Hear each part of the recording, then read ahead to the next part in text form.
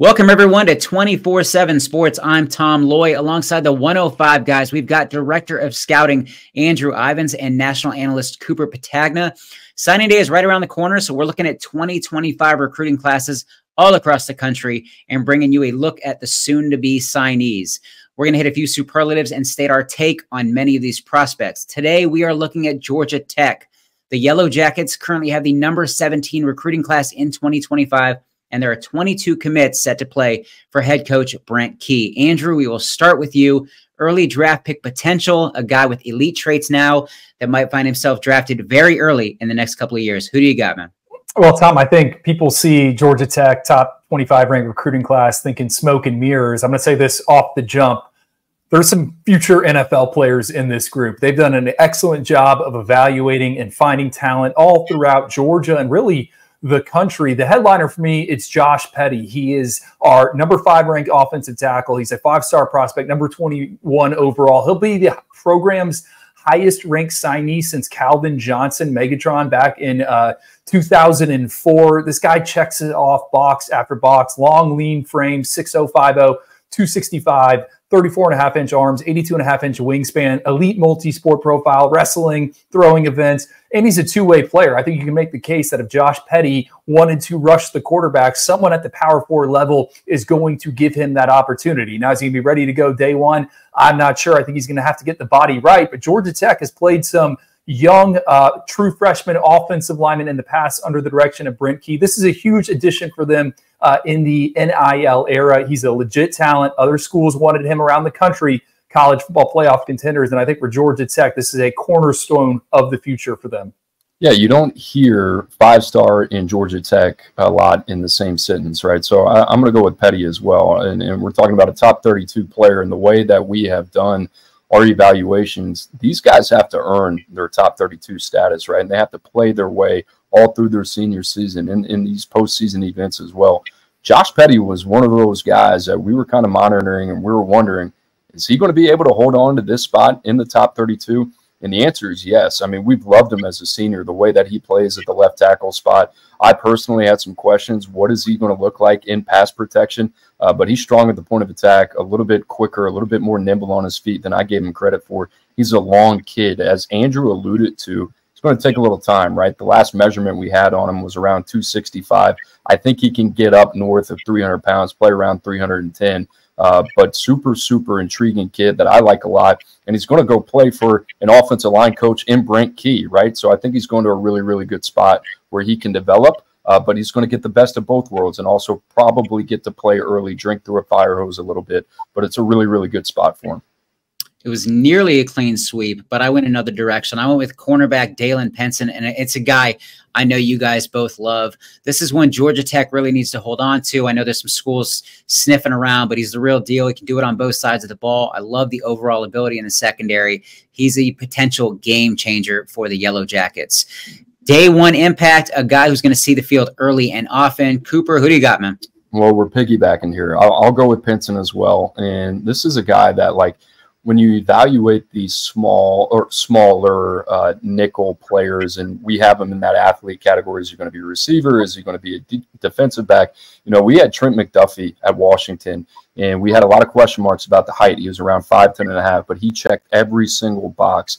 And Dalen Pinson reminds me of that in the same way in terms of everything you see from track and field to multi-sport to the genetics to a guy running a 448 and then when you turn on the tape you forget about all those things and you're just so fixated on the type of player that he is. And I love the versatility. It doesn't matter where you line him up. You can put him at receiver, you can put him at corner, you can put him in the return game. He is going to be the best player on the field.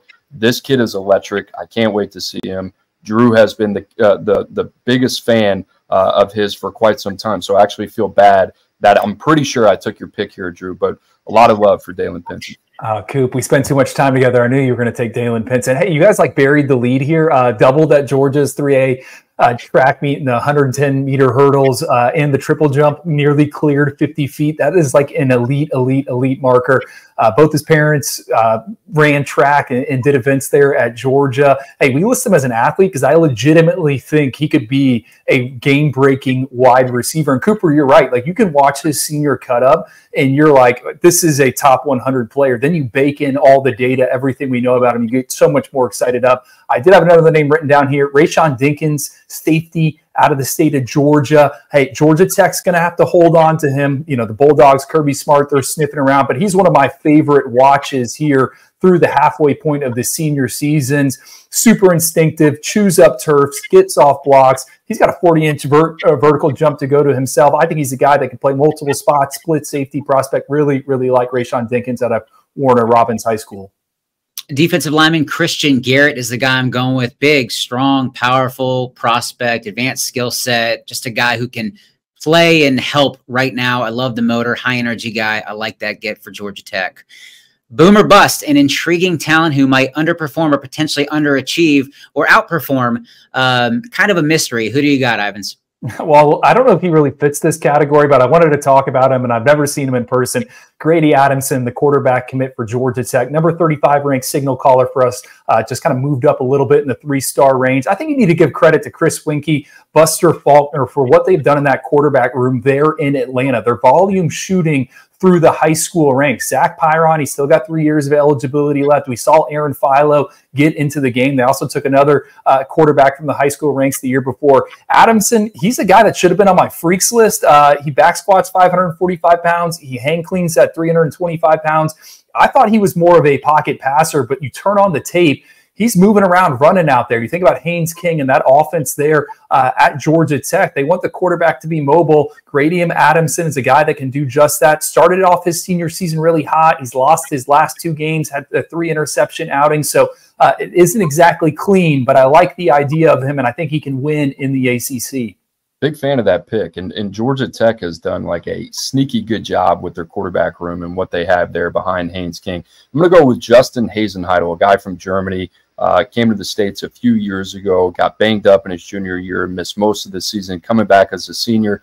We had some question marks. One, about the growth potential. Two, what's it going to look like at the next level? I think he's really going to be boxed in. He's going to have to be a center at the next level. Can he play guard? I don't think so. So he's got limited positional flex. You can see what Brent Key likes in him. Uh, and this is a guy that I think can have a serviceable career. Uh, but ultimately, at the end of the day, there are some things around him, some red flags uh, things outside of his control that I'm a little bit concerned about when you start projecting to the next level. So interested to kind of see how that one pans out.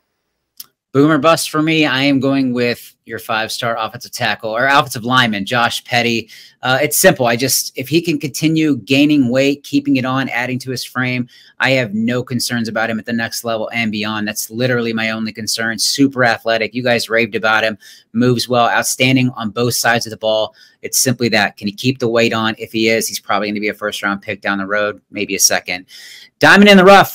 Uh, Cooper, uh, let's see a three star prospect who could surprise and potentially even find himself drafted at the next level. I'm going to go with Carrington Coombs. Is he an edge rusher? Is an off-ball linebacker? I mean, it's it's tough to tell. He is a good football player, right? Uh, 6'2", 225 pounds.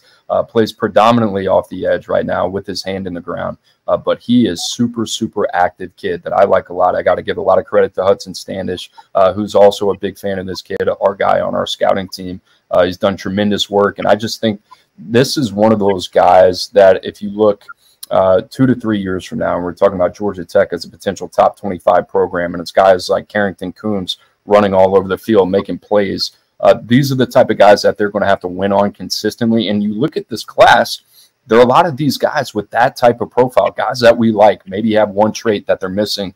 But if you're Georgia Tech, these are the dudes that you have to swing on, especially in the state of Georgia. I think this kid kind of represents that idea. Well, here's another one for you, Cooper. Uh, fits everything you just said. Jaden Barr, our number 58 ranked safety. I think he might be more of a off-ball linebacker. 5'11", 190 pounds this summer. Looks much bigger on his senior tape. Two-way player, repping at uh, running back and nickelback. He flies downhill. He hits people as a senior over a thousand yards of offense on 100 touches, 22 touchdowns on the other side of the ball, 41 tackles, three pass breakups, and interception. Reminds me of Jadan Baugh at Florida, another two way guy uh, a lot of schools were looking at late. He ends up with the Gators. He's making some noise as a true freshman. So I don't know where Jaden Barr is going to play, but get him on my football team. I'm glad you brought him up earlier, Ivins. My diamond in the rough, quarterback Grady Adamson. If he ends up getting drafted one day, I will not be shocked. I like the mechanics, love the patience, the poise in the pocket. Does a great job of keeping his eyes downfield. Just a lot to like. Super athletic, tough runner. He's kind of he's kind of a badass to put it to put it simply. But I think he's going to surprise a lot of people in college. Uh, that wraps it up, though. As I said before, we're going to hit a ton of schools leading up to December's early signing period. But for Andrew Ivins and Cooper Petagna, I am Tom Loy. As always, stay locked to 247sports.com.